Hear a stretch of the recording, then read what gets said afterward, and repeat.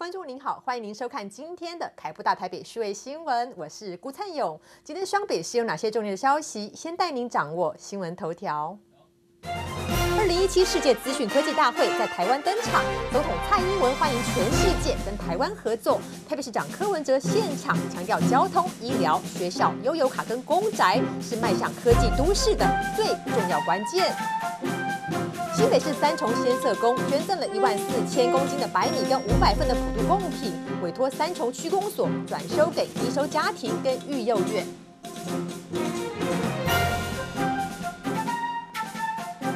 新北市的观光旅游局最近推出了九份跟平林的轻旅行，五条旅游路线带游客朋友走访山城美景，还能够放慢脚步体验品尝文化。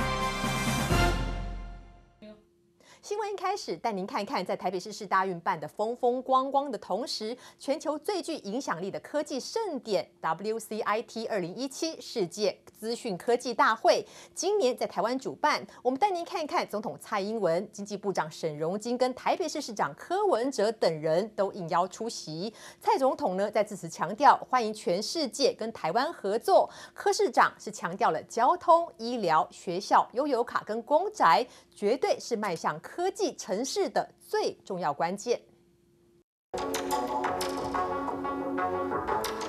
身穿银色科技 IOT 穿戴式装置的舞者，随着音乐摆动，背后的大荧幕浮现色彩缤纷的影像科技艺术，与舞者进行互动，象征人性与科技在台湾完美的结合。就连应邀出席的总统蔡英文，都向全世界喊话，欢迎来台合作。台湾正在从硬体代工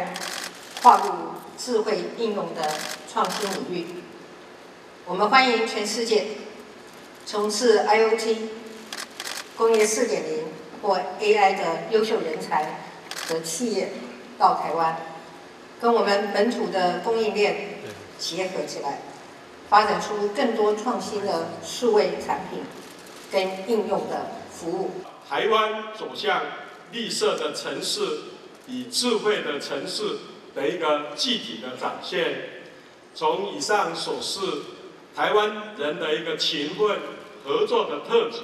是国际大厂最佳的一个合作伙伴。第二十一届 WCIT 世界资讯科技大会今年在台湾举办，这是继世大运之后，台湾另一个向全世界发声的科技盛典。共计八十个国家，三千多位嘉宾参与，场面相当盛大。WCIT 在十七年后再次重返台湾，我们希望台湾让它从一个硬体的代工国家变成一个应用数位的国家。那今天这个就是一个让全世界数位的产业在这个地方交流合作、吸取经验，来开发它的新能量。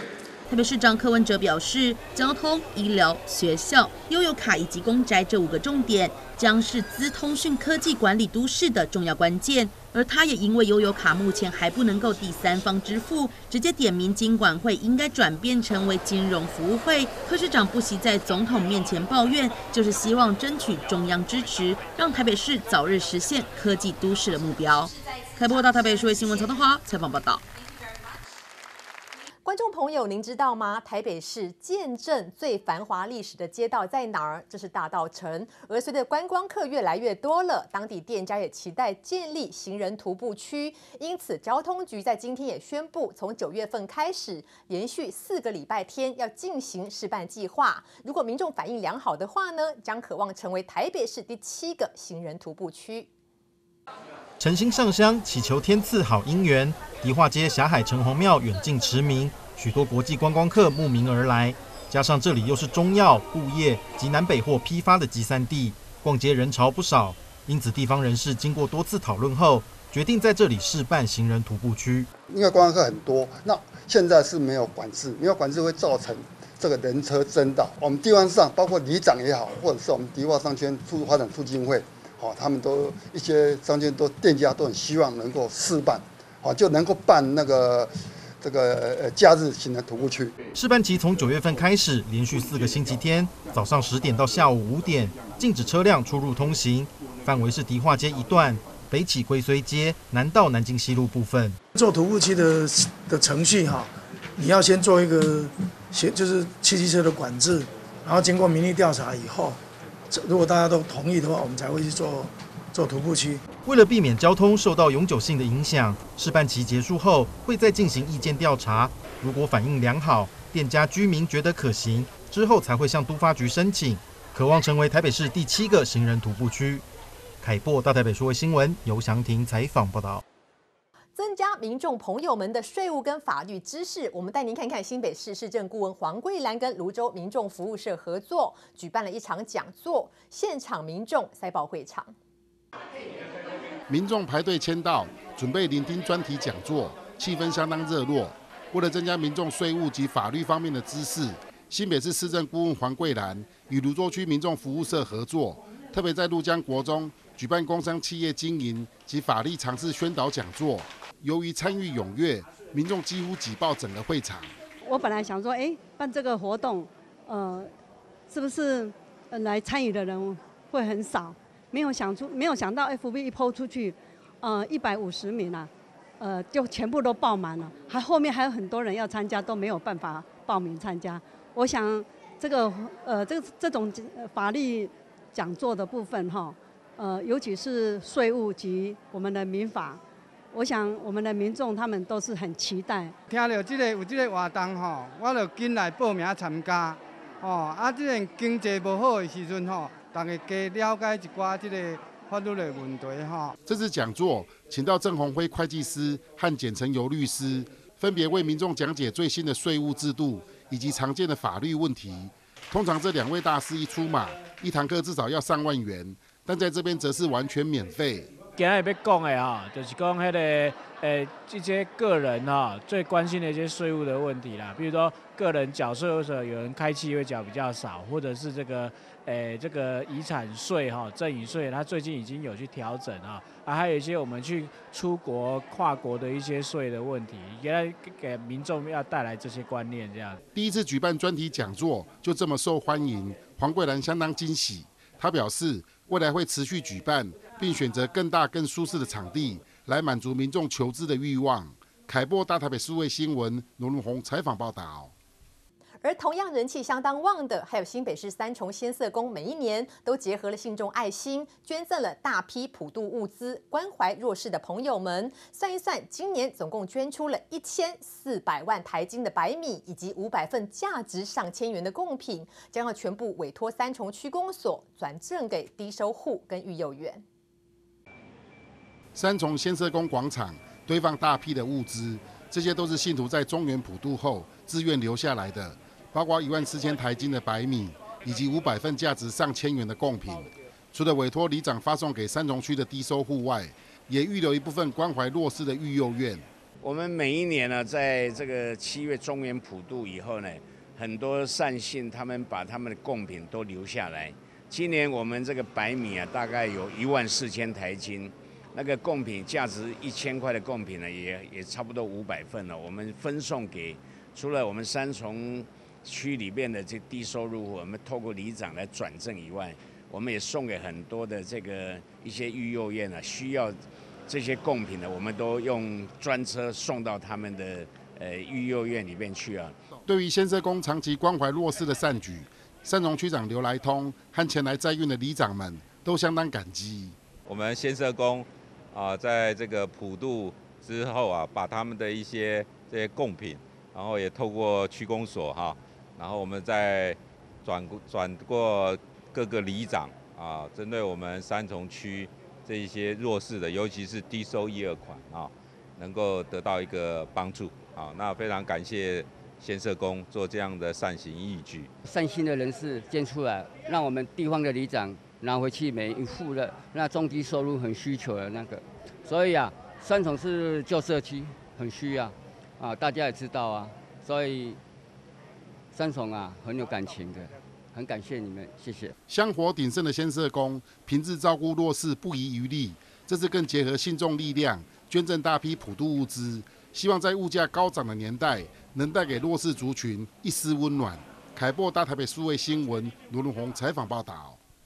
接下来，让我们带您把新闻的焦点转回台北市。而先前市政府是计划在信义区的三星段六张里的营区盖公营住宅，不过当地的交通已经够乱了，不但机车格被停爆，而且到处都是违规停车。因此呢，议员说盖公宅恐怕会让交通的问题更糟糕。不过当地的居民要求一定要先解决当地机车股的乱象，再来谈盖公宅。巷道里左右两边停满机车，停车格一位难求。这样的机车股乱象，几乎天天在信义区五星街上演。但北市府还没解决交通问题，却已经计划在附近盖公宅。未来再有三千户入住，当地交通停车乱象，恐怕只会更糟糕。往北的方向呢，庄敬路呢，两百二十五巷，回堵到几乎三十公尺，周边所有这个基地的几个里，所有的几万户。我们的印象，这四十年来到目前为止，交通是没有改善的。由于公宅基地紧邻北一，平常车流量就很大，尖峰时刻更容易塞得水泄不通。面对民众反弹声浪，北市府不设法改善交通问题，反而要先召开公听会，还选在只能容纳一百九十一个座位的场地办理。市议员王宏威痛批，根本是便宜行事。大家这么关心的案子，只选择了整个席位。一百九十一席的一个场地，这是没有诚意，这是想搞黑箱作业，这是想让民众不要来参加公听会。其实我们已经在八月份已经把这个交通整顿计划都已经整做理做好了，那接下来就是对于一些呃机车位的释出哦，在呃台北医学大学这边，那另外也有一些停车位的部分，我们会用这个公宅还没有开发的基地的。平面停车场，好，那做一些临时停车。王宏威呼吁市府应该展现诚意，先整顿当地交通，开辟停车场，解决当地机车股乱象。等到民众有感后，再来举办公听会，才能真正落实科批的公宅政策。凯博大台北数位新闻游祥庭采访报道。是电影不发达的年代，皮影戏曾经是相当受欢迎的民间娱乐活动之一。我们回来带您看看台北市大安区的龙生里一张沈凤云举办了文化在巷子里的活动，让大小朋友们观赏接触皮影戏。你知道这个是什么吗？是不是一只鸽子背着高丽菜？那是环保标章。你看这边有说环保啊，你看纯天然，人就好，不是吗？有环保标章才是对健康好，对环境好，而且经过政府验证通过的。最好还是上绿色生活资讯网。台湾人，你们真的很在意环保哎。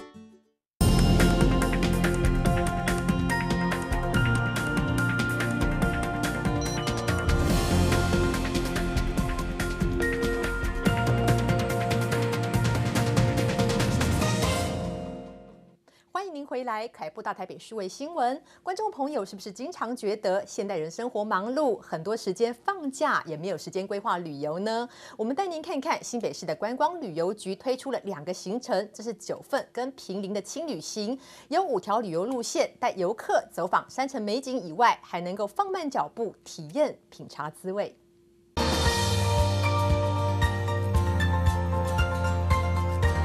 远离城市喧嚣，悠闲漫步在茶园步道，尽情享受慢活。新北市平林区的好山好水，绝对是忙碌都市人的好去处。而同样跟茶有渊源的九份，虽然不产茶，但半山腰的茶楼随着电影《悲情城市》而兴起，更是日本人来台首选。结合茶香和美景，新北市观光旅游局推出轻旅行，带民众探访山城景点。这次有非常多，包含平林、包含九份，都有很多种不同的。从个人的自由行到茶券的买卖，到小团体的旅游，到大团体的旅游，我们希望可以提供国内外游客各种不同样态的旅游样态、旅游方式。要让游客体验在地特色，新北市府规划三大主题、五条游程。除了必逛的老街，到平林南山寺可以感受日出云海，还有茶师亲自导览和品茶体验。另外到九份，则是可以探访矿坑秘境，也可以走进茶屋。边喝好茶，边听耆老细说九份故事。圆润、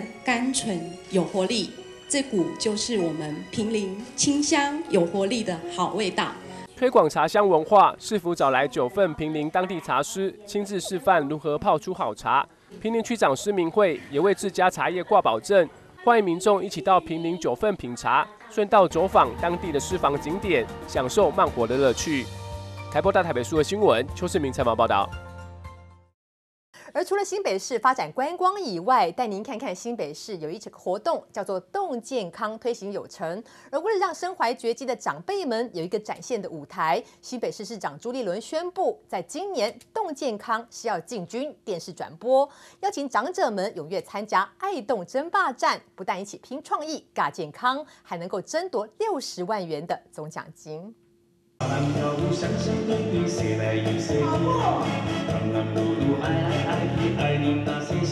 艺人白冰冰带领大家一起跳广场舞，享受动健康的乐趣，现场气氛相当嗨。新北动健康推行永成，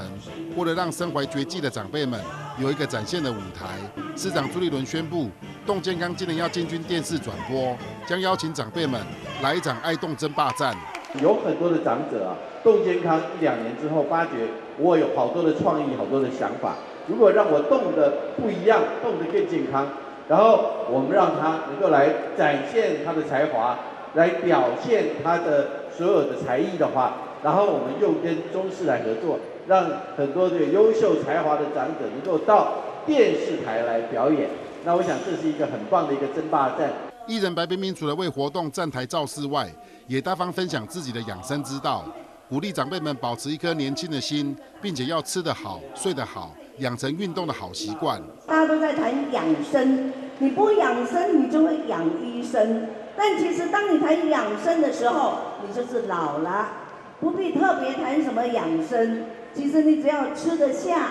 睡得着。排得出来，一直学习新事物，你自然就是最棒的养生。凡年满六十五岁或原住民五十五岁，涉及或居住西北市的个人或团体，都可参加选拔。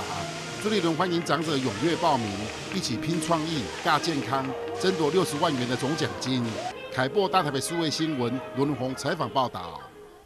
在今年新北市泸州区一名孕孕妇，在七月底在成功消防队的两名救护员的接生之下，顺利的生下宝宝。而适逢满月，产妇跟家属是特别的送油饭，表达诚挚的感谢。我们带您看看，身为三重义消分队长的新北市议员陈启能，对于两位同仁们他们临危不乱的表现，不但高度肯定之外，还发了红包。刚满月的女婴在妈妈怀里睡得香甜。丝毫不受外界干扰。泸州区一名孕妇，七月三十号清晨突然腹痛难耐，成功消防分队队员陈天行、庄明宏获报到场，发现孕妇羊水已破，婴儿的头已快露出，必须立即现场接生。虽然两人都是第一次接生，但凭着平日扎实的训练，总算不慌不忙，顺利完成任务。经过我们现场评估之后，已经开口已经约四指，所以评估必须要现场进行接生。所以我们有跟家属跟还有产妇进行沟通之后，在现场替他们做接生，就是按照平常的训练，然后准备机产包还有担架床，然后我们就开始准备接生。那过程还蛮顺利的，也恭喜这位妈妈得到一个健康的宝宝。非常感谢他们的专业，对，然后他们真的一点看不出来他们都有紧张，然后一听到他们是第一次接生，我自己也吓一跳，对，因为真的太专业了。适逢宝宝满月，产妇及家属特别致赠满月油饭，表达诚挚的感谢。身为三重义消分队长的新北市员陈启能，对于两位同仁临危不乱的表现，除了高度肯定外，也颁发红包予以加冕。我们非常肯定我们两位同仁哦，在这种紧急状况能够处置得宜哦。那当然，这个接生工作，呃，也有稍许危险，但是因为该两员的专业哈，虽然是第一次接生。但是也非常顺利的哈，哎，完成这个任务。消防队平日勤务繁重，除了守护民众的生命财产安全，有时也会遇到较特殊的案件。这次能亲手感受新生命的诞生，两位消防弟兄内心都充满喜悦，相信会是他们难忘的工作经历。凯播大台北数位新闻罗荣宏采访报道。而在过去电视、电影、媒体不发达的年代，皮影戏曾经是相当受欢迎的民间娱乐活动之一。我们带您看看，在台北市大安区的龙生里里长沈凤云也特别举办了一场活动，叫做“文化就在巷子里面”，让社区的大小朋友们观赏，甚至亲自接触到传统的皮影戏。乌鸦得到一块肉，被狐狸看到，狡诈的狐狸费尽心机，让乌鸦得意忘形的唱歌跳舞。最后，乌鸦不但失去了那一块肉，连自己也被狐狸抓到。有名的寓言文学在大安区龙生里的瑞安公园之内，用中国传统戏曲方式呈现，让大小朋友们认识结合民间工艺跟戏曲的电影始祖皮影戏。我想这些的文化呢，透过我们的里长，啊，能够呢，啊，把这个文化活动啊，有看过也没有看过也没有关系，至少呢，它可以呢，让大家呢，丰富我们社区的文化。这是呢，皮影戏呢，给我们带来呢，很有文化的一面。我像我的小朋友在小学的时候，也曾经请我们有社团活动，请老师来教指导小朋友。做一那个皮影戏的制作过程，让小孩子认识皮影戏，一个非常古老的一个文化，但是这个文化呢，大家都遗忘了，都断层了。所以呢，我们今这次呢，特别请到了那个从南部上来的这个皮影戏哈，华州皮影戏来表演，希望能够挑起这些李明的回忆，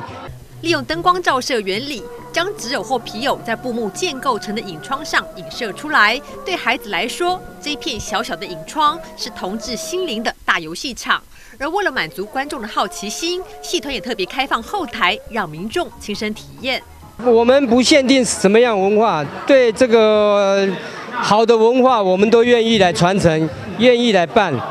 给大家了解多元文化就是跟单调文化不同的地方。为了让前往欣赏传统戏曲的左邻右舍能有双重感官享受，包括客家粽、马吉、仙草等等点心，龙生里长沈凤云都大方分享。一场借由光影来表现戏剧魅力的艺文活动，也让很多平常不认识的 Hold 醋逼生活开始有了交集，也让艺术走入生活。记者顾灿勇采访报道。虽然台湾治安良好，不过提醒观众朋友，目前跟踪骚扰的案件还是不断的发生。根据现代妇女基金会统计，每八个人就有一个人曾经被跟踪骚扰，而且百分之九十多是熟人所为，不但严重干扰到被害人生活，而且还可能受伤致命。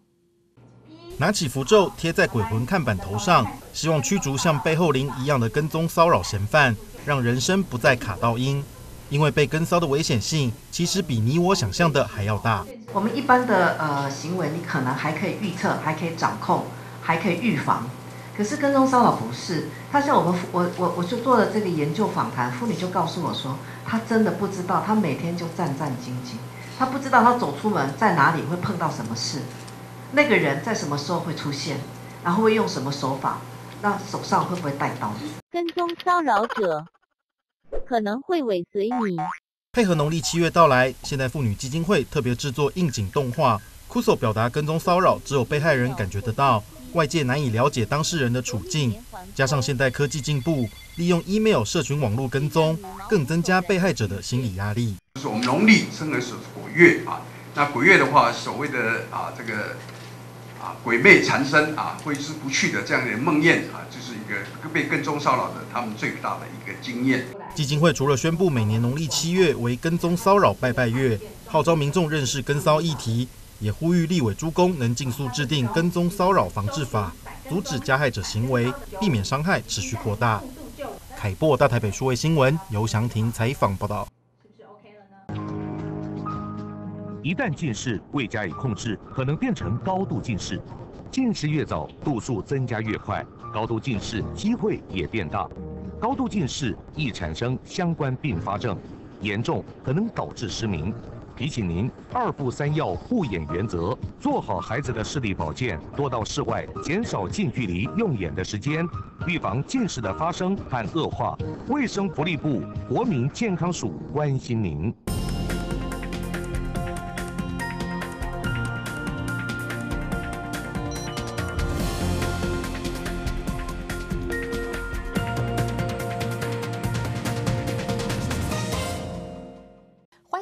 来，凯播大台北虚位新闻。台湾稻米的品质优良，成功行销国际。在近年来，是有越来越多年轻的农友们返乡加入种稻的行列。我们带您看看，为了推广米食文化，台北市政府跟农会合作，九月十六号，只要您到花博公园农民市集，就可以尝到米饭的品尝评比了。